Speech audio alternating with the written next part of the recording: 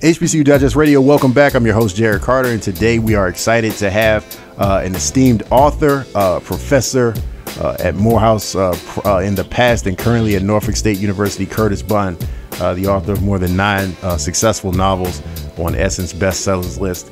Here to talk with us today about his career and his genesis at the great Norfolk State University. So, Professor Bunn and Brother Bunn, I should say, it is indeed an honor to have you on today. Uh, Brother Carter, my pleasure. Thanks for having me. So, t- first, give us some insight because you have this unique track in your your teaching and learning. So, you're you're at Norfolk State, but you live mm-hmm. in Georgia. So, clearly, you're the hardest working man in the HBCU community uh, by mileage and by Tom Joyner's definition. But t- tell us how that worked out that you returned to your alma mater to teach, uh, but you still keep uh, residence in Georgia well, I'm very proud of Norfolk State in general, and specifically the outgoing president, Dr. Melvin Stith, and Vice President of Advancement, Dr. Deborah Fontaine, who met with me in Atlanta February of last year, 2018, over brunch. And during that conversation, talked about the idea of bringing back Spartans to Norfolk State who've done substantial work in, in particular professions to teach it was I was excited. I've gone back to Norfolk State over the years, having graduated in 1983 and worked at the school newspaper during my four years. I've gone back over the years many, many times to speak to the student newspaper, to speak to news writing classes, to speak to students in general as the Marsh Grand Marshal of the Homecoming Parade, as a distinguished alumni. So I'm very much connected to Norfolk State and bleed green and gold. But the opportunity to teach was always something that I really wanted to do. But I live in Atlanta and really love living in Atlanta. So that was a uh, that was a, a prohibiting factor. Well, they were innovative in saying, "Why don't we fly you up once a month and you teach the other three month three weeks of the month online?" Mm-hmm. And I was like, "Wow, this works for me." My wife, who's a Norfolk State graduate as well, was excited about the opportunity, and we implemented this hybrid sort of class of creative writing where I go up to Norfolk State once a week, once a month rather, for a week, teach the students, uh, teach them online during the rest of the month, and we've had great success. I've seen so much uh, tremendous improvement in the students, and this idea that we're creating the next generation of authors is very exciting to me. So to do it at Morehouse was outstanding because it's an HBCU, and I loved it. I, I taught sports reporting there my, my background is as a sports journalist also, but to do it at Norfolk State, a, a school in which I was raised, coming in at 17 years old, somewhat unsure of myself and leaving at 21, four years later, ready to take on the world and become a journalist, uh, it means that much more to me. Talk about that time in Norfolk. They obviously have a tremendous mass com program. Um, mm-hmm. Talk about what the tools and the experiences that you gained at Norfolk – that helped you to become and enter into the sports writing realm and how you eventually transitioned to novel writing and creative writing? Yeah, it, it really started before I even went to Norfolk State. I, I grew up in Southeast Washington, D.C., and my English teacher in junior high school, Mr. Overton, told me about journalism, and I started pursuing it then even though in my heart I was going to be in the NBA, like most young men uh, at 13 years old. Right. But I went to Ballou High School and I studied journalism and was the editor of the paper in my junior year, and went to the Penn Career Development Center in my sen- in my senior year in the mornings and Ballou in the afternoon. So I went to Norfolk State with the idea that I was going to study journalism and work for the student newspaper. And that was really the heart of everything for me. Working for the Spartan Echo newspaper, uh, from really my first week there to my last week over the four years, working with guys like Derek Dingle, who's now the um, one of the editors, the editor right. at yep. Black Enterprise, mm-hmm. and Leon Carter, who is at ESPN, who's sort of been a mentor to me all my all of my career, certainly earlier in my career. And we had professors who cared, and so they prepared us through the newspaper. It was a practical way to to write, to get clips, to learn from your mistakes, to grow, and by the time I graduated from Norfolk State, I had three job offers, and, and my career was launched. But mm-hmm. it, it was a very nurturing environment, as, as HBCUs are. It was a learning environment that um, allowed you to learn from your mistakes. And I gained, I gained a great passion for the Spartan Echo newspaper. I, I maintained that pa- that passion for for for the Spartan Echo, even as it right now is going is undergoing a revamping, so to speak, and I hope to be heavily involved in that uh, at some point.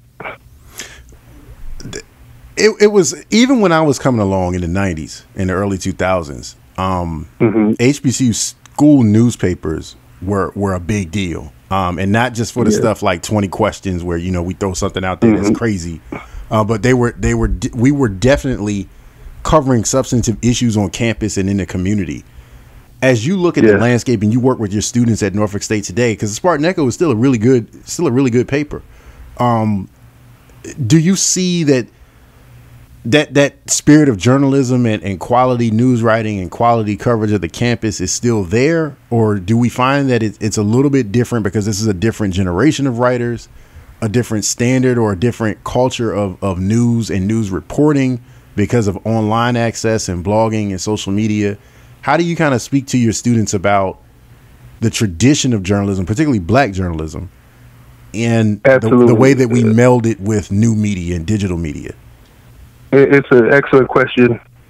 Um, I'm somewhat in an awkward position because I really want to take over the Spartan Echo as the, its advisor. The advisor, from my understanding, who was there, has recently left. The newspaper hadn't come out regularly at all. I mentioned earlier I've spoken to the Spartan Echo students over the years, and I have to be honest, quite disappointed in what it uh, the, the, the, the lack of production. We came out every week with a specialist section during the CIAA basketball tournament and SGA elections mm-hmm. every year for four years. They're coming out two or three times a semester mm-hmm. with much more technology.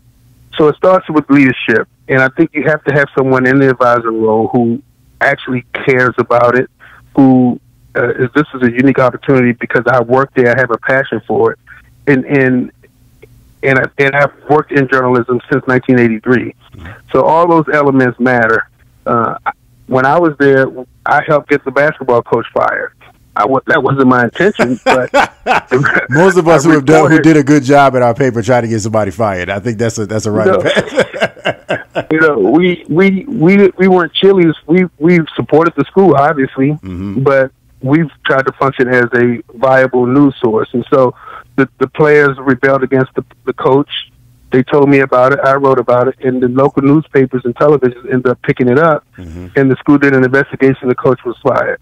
We challenged the SGA president. We challenged the president, Dr. Harrison B. Wilson, who was probably the greatest president at Norfolk State. Mm-hmm. Um, he respected the paper. He didn't like everything we wrote because sometimes they think we're supposed to be a PR vehicle. Mm-hmm. That's not. That should not be the case. Right. Um, with with the internet, mention you know, moving to today's world of journalism, there's no reason for the, the the Spartan Echo to not be a viable source on the internet. There should be stories every day about student life and the issues that concern students um, every day, and their real life issues. I talk to the students beyond what I'm teaching them, and they have they have real life struggles and concerns about what's going on on campus and what's going on in the world and they're not right now using that outlet of the, of the student newspaper as a voice. And so I definitely would like to be a part of bringing that back and making it a viable resource for students to go to for happy news, for sad news, but for news that really matters to them. And that, that's the most important thing. I get the sense, and not to belabor this, but I get the sense that it's just different. I don't know if it, I'm sure it was like this for you guys as it was for us. When we were in school, we would go to class and then go to the newspaper office. Like yes. we, we hung out at the paper. Like we, we stayed yes. up late and, and, and snuck in the building and hid from security so we could lay out the paper and put it to bed. Yes. Like so, yes. most of us who kind of came of age like right just before digital media started emerging, we know what it's like to actually mm-hmm. put a physical paper out and why that requires so much work and why you want to do it every week or you know every other week. Maybe mm-hmm. do, do you think that that that's different because you can almost post news instantly now, or is it that because students may have a different lifestyle where they don't they don't necessarily have to or want to hang out at the at the newspaper office when they're not in class or not sleep, you know? For sure, for sure, it's it's different on a number of levels. For one, I I remember asking my students at Morehouse where they're from, and the first day, and they all tell me where they were from, and the kid would say he's from St. Louis or Minnesota, and I'm like, so have you ever purchased the mini the Minneapolis Starlet? Mm-hmm newspaper? No. And I go around the room. They had never even purchased Purchase a newspaper, before. Right. hmm So the idea of an actual physical paper just doesn't jive with them. So I said, "So where do you get your news?" And they said, "Twitter." Right. So, so it was very disheartening for a newspaper man who grew up with newspapers. And I worked in New York for 11 years. Yeah. I read five papers a day, hmm and so uh, it, it is a different dynamic for sure. It, there's a in the internet with all of its virtues. Of course, many um, probably the greatest invention of all time, but it has its downfalls, and and that's one is the, the, the, the deterioration of newspapers and journalism as we knew it, where you were careful about what you wrote. You had to get second and third sources to confirm stories, as opposed to trying to just be the first person to get it. And it, that's why the trust in journalism has deteriorated. So where you you can read something in the paper, and generally you hear all the time, "Well, you know what? That may not be true," and then it may, you know what? It may not be. The next day or the next hour, there's an update that they talk to someone else, and it's a totally different story. hmm So the, the game has changed significantly, and I think it's important that if we have young students in colleges, uh, particularly at our, at our HBCUs, then we need to hone them to do the, to to master this craft the right way, and so that they can tell the stories that we need to be told in the proper way. Sadly, there are less African Americans in newsrooms now than they were when I started in 1983 mm. there was always this big push, and it talks about the percentages of African Americans in newsroom and sports departments in this department and that department. And now it's diminished less in a time when it's we're supposed supposed to be more progressive. So we have to produce young journalists who understand the value of what the profession is, what it really, what the, the code of conduct, and how to do it the right way. And that's where uh, where folks like us come in, where we have the opportunity to, to touch these students and show them how it should be done, and hopefully they will gain a passion for it that we have. Uh, that can really make change in how we perceive and how we project it in news out news outlets. All that you know we can we can sit up here and talk shop all day brother i'm sure. Uh, but the, but the the the biggest thrust of your career for which you're so well known um, is your work as an author. Um, 9 titles essence bestseller. Talk about that transition into creative writing. How did it it, it, it spark and how did you uh, and let me ask you this question. How did you become self-made in that way in that field and what it, what what is what is a piece of advice that you would give a student who may be listening now if you want to be an author and write novels and write uh, you know fiction or even nonfiction what what is the way to get started get a deal self-publish what are some of the the, Sure. the strategies behind it Sure, that's a, there's a lot to that answer. For one, I grew up as a reader, didn't even realize I was one. It was just natural. My mother and father got us books when we got our electric football men and Rock'em Sock'em Robots as well, and I read the books, and so I grew up reading. Now you'd be classified as an avid reader, but then I was just reading because they were there and I enjoyed them. Um, I read Waiting to Exhale on the beach in Maui in I think 1992, and I loved it. And I, but I said, you know, I could do this. I can write a book. Uh, just from a male's point of view, I never considered novel writing before. Some, uh, as a sports writer in New York, a few athletes talked to me about writing their memoirs, but never thought about a novel. Well, seven years later, I started writing a book called Baggage Check about three guys who love who have a great friendship with each other, but with women they have trouble because they carry baggage from one relationship to the next. Mm-hmm. And I started writing that book without an outline, without any notion of where I was going, and fell in love with writing novels. I'm a journalist first. I always call myself a journalist first because I fell in love with journalism at 13. Mm-hmm. But I love writing novels because it's much more liberating. I don't have to worry about facts. I can create the facts. Uh, and so I wrote Baggage Check. It was published by a black publishing company in New York called A&B Books. And the book did great, fantastic. It was number one on the Essence bestseller list, and I had a new passion. And so I started writing and ended up getting deals with uh, Simon and Schuster for about seven books. I've written ten. I'm working on it an eleven. And so the transition for me was uh, I was still working as a journalist here in Atlanta at the Atlanta Journal Constitution at, when I started writing books, and um, I was able to transition from the AJC, taking the buyout in 2009, because I had started this writing career and teaching, and also I do a literary conference, annual conference called the National Book Club Conference each year.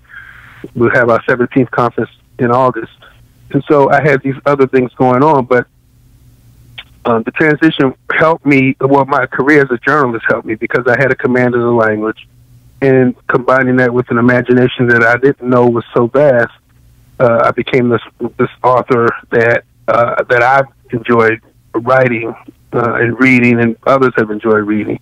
It's it's uh, it's self publishing is an easy path nowadays. There are very there's several vehicles to do that, mm-hmm. even including via Amazon. I would advise anyone who chooses that route to do it with the idea that you're going to put your best foot forward. And I know that sounds like a very simple concept, do your best, but that's what's required because readers are serious readers and they're going to see through uh, weak storylines and they're going to notice editing error, editing mistakes or typographical and uh, punctuation errors.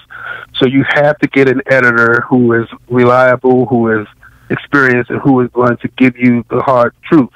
That editor can't be your friend because as much as friends love you, because they love you so much, they can't give you an honest critique. If they don't like it, it's hard to say to your friend, you need to go back to the drawing board. You're almost always going to get a positive response. So you have to get an impartial judge who understands language, understands storytelling, who can give you some feedback that's going to be helpful in you pursuing this um, this this line of work. So you you've been acclaimed in journalism. You've been acclaimed in novel writing. Um, you said you're working on an eleventh book. Uh, there, there's so much that you've conquered in this in this field of arts, and so for you, what is it like when you see our HBCUs and just education in general taking a very very close and and intricate look at how can we become more STEM oriented, technically oriented, which is good to keep pace with technology. But where do mm-hmm. you see the role of the arts, the role of communication, the role of the written word in going yeah. in the future, particularly for black communities? Sure. I, I think it's critical. For sure, STEM and technology uh, is, the, is the present and the future. But at the same time, you have to be able to read and write with comprehension. It, it was it's a basic concept from way back when we were growing up. But I think even more so today because we're in such different times, such challenging times. And these millennials, uh, and I really enjoy being around them, listening to them, and talking to them to get their perspective on things. And they're they're, they're different thinkers than we are.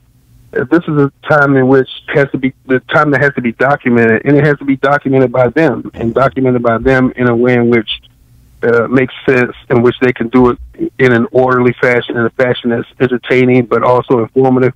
And that's where journalism comes in. That's where the My Creative Writing class comes in, and other courses at Norfolk State's English Department, and other HBCUs around the country. The arts will never go away. Music, books, even if they'll, you know, I know that there are a lot of people who like the electronic reading. I like, I love holding a book in my hand, whether it's uh, through, uh, no matter which way, people are going to want to read, and stories are going to need to be told. And it's incumbent upon us, with our experience, to arm our young people who are in these HBCUs with the tools to, to tell those stories in a in a viable way. And so I'm excited about it. I'm, I'm you know, I'm proud of Norfolk State for stepping out of the box to give me this opportunity to teach at Norfolk State while I live in Atlanta. Uh, it sounds crazy, but this, this hybrid is working so well, and, and, students are getting so much out of it um, because we need this from them. We need this from them. We need them to be prepared in a way that uh, prepared by people who've done it not just people who are teaching out of out of, out of uh, textbooks. Obviously, that th- there's a place for that in some realms, but when it comes to writing and many many uh, aspects of the arts, it has to be people who've done it and who are doing it, who can guide them in a way in a way and give them practical knowledge and practical experiences to draw from. Brother, fantastic insight. Uh, tell us where we can find more about uh, you, um, more about your your curriculum and the things that you've yes. developed in the HBCU space in the way of teaching, and more importantly, where we can buy some of these books. well, I appreciate that. The books are everywhere: uh, Amazon.com, BarnesandNoble.com for sure. Uh, my website is Curtis Bunn, C U R T I S B U N N dot com, and my creative writing website is NSUCreativeWriting.com. And so uh, part of my class is that I the students are writing a short story throughout the semester, and I have their stories published on the website. And it gives them a, a publishing credit, but it also lets them uh, friends and family read their work to see how they progress through through the class. So it's an important element of what, what I'm doing there in my class at Norfolk State.